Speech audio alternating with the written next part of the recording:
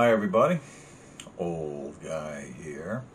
And before I get into this list, salute and rest in peace to Greg Bear, who passed away uh, last week or about 10 days ago.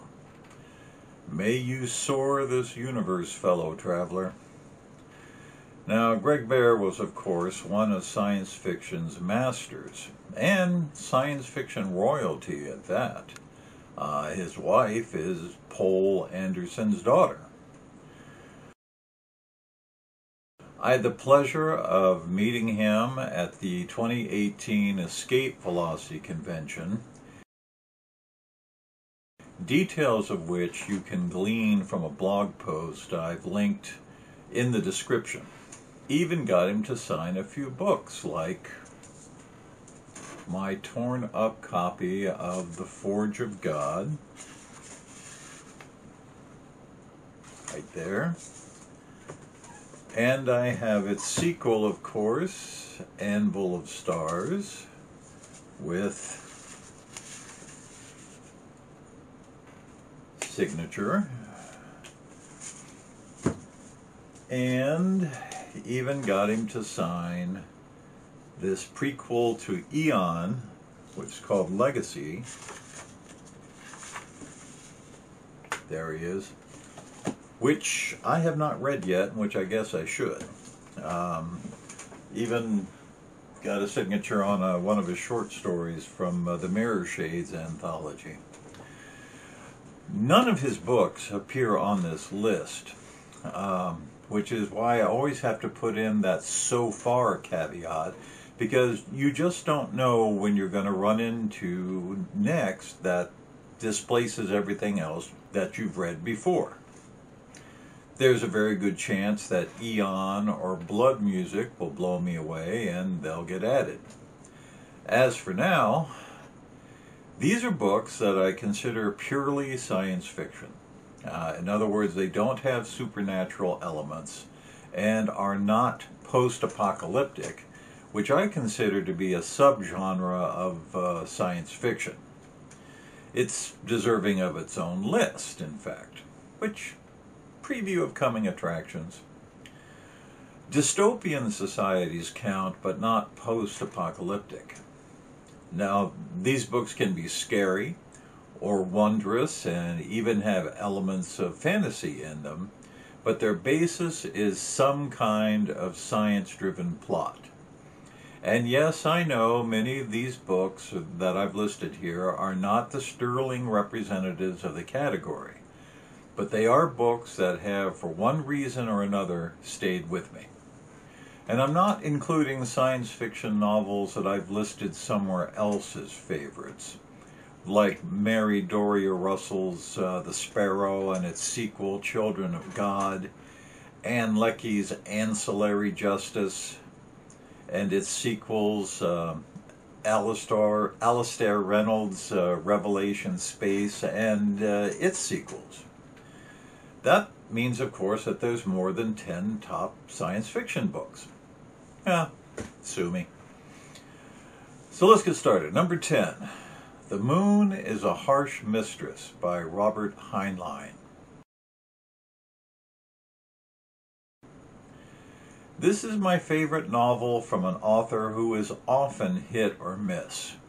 Starship Troopers, Have Spacesuit Will Travel, Orphans of the Sky, they're home runs. The rest, eh, they go from me to not bad. What's this one about? Well, the first penal colony on the moon has developed a unique culture subject to low gravity and more men than women, and is now chafing under the rule of the Earth's lunar authority. Revolutionaries and anarchists and Mike, the supercomputer that loves jokes and is slowly becoming self-aware. Published in 1966, I think this beats Hal by about two years. Number 9, To Your Scattered Bodies Go by Philip Jose Farmer.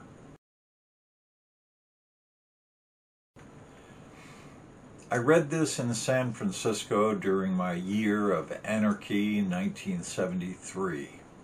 I was blown away by Riverworld and grabbed its sequel, The Fabulous Riverboat, about five seconds after it came off the press. And then waited, and waited, and waited for the concluding book of the trilogy, The Dark Design which felt like Farmer wrote in a couple of hours one night just to get the story finished and off his desk. Hmm. Shades of George R. R. Martin. Number 8 Marooned on Mars by Lester Del Rey. Yes, this is juvenile fiction. I read it when I was a juvenile, so there's no loss of points here. I enjoyed it back then and still remember it fondly. 17 year old Chuck Svendsen stows away on the first expedition to Mars, which he was supposed to be on anyway, but a mess up on dates had the rocket taking off before he reached majority. Bureaucrats, what can you say?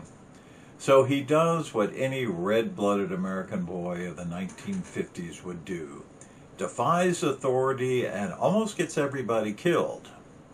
And then there's the rat people. Good times. Number seven, The White Mountains by John Christopher. More juvenile fiction, this involves the alien takeover of the Earth and the enslavement of the human population by squids who embed a cap onto every human's head when they turn 14, rendering them docile. Will Parker and his pals run away before they are capped and flee to the mountains where things are not good. This is a fairly terrifying story, the first novel of the Tripods trilogy. Number 6 The Lathe of Heaven by Ursula K. Le Guin. The Left Hand of Darkness gets all the attention, but I think this is her best novel. George Orr can dream effective reality, reality, changing the world every time he sleeps, so he abuses drugs to keep the dreams away. Because he's the only one who remembers reality after uh, one of his dreams alters it. George's therapist attempts to use the dreams to change the world for the better, with disastrous results.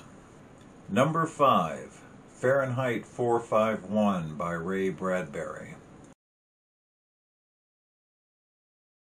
The temperature in which paper ignites, and firemen in this future dystopia use flamethrowers to destroy forbidden books, which is just about all of them. Thought control and word burning and punishment for unorthodoxy. Hmm. Sounds a bit familiar. Number four, The Stars, My Destination by Alfred Bester.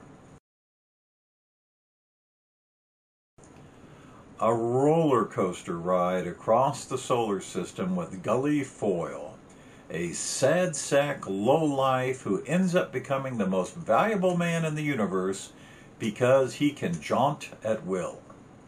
Jaunt? Oh, yes, Jaunt. Number three, Way Station by Clifford D. Simak. This is a classic science fiction novel about Enoch Wallace, the 124 year old Civil War veteran and caretaker of a station that allows travelers across the galaxy a place to rest when they happen to be in our little corner all kinds of interesting aliens show up, and something rather dangerous. Number two, The Fifth Head of Cerberus by Gene Wolfe.